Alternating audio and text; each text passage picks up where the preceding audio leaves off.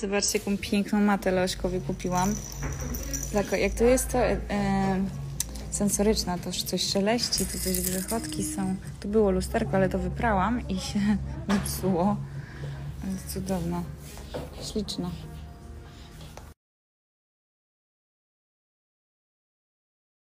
Absolutnie oszalałam na punkcie takich właśnie mat edukacyjnych, bo Leośkowi się tak podobają. Szczególnie jak są jakieś lusterka, coś może złapać. Pan Lew. Pan Lew, jak Leoś, słuchajcie.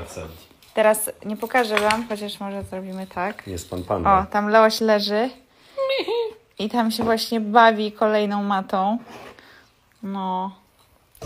A to jest fajna, bo jest drewniana. I słuchajcie, kupiłam ją w. Empiku. Nie wiedziałam, że w. Empiku są takie rzeczy. No, super.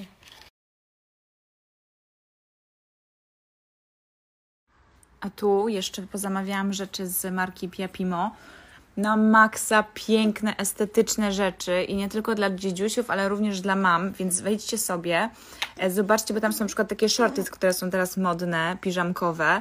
Ta kołderka, mm, żałujcie, że nie możecie poczuć, ale pokażę Wam jeszcze, co powybieram w środku. Jedno jest pewne, widać, że y, kolor, kolory, które wybieram są zgodne.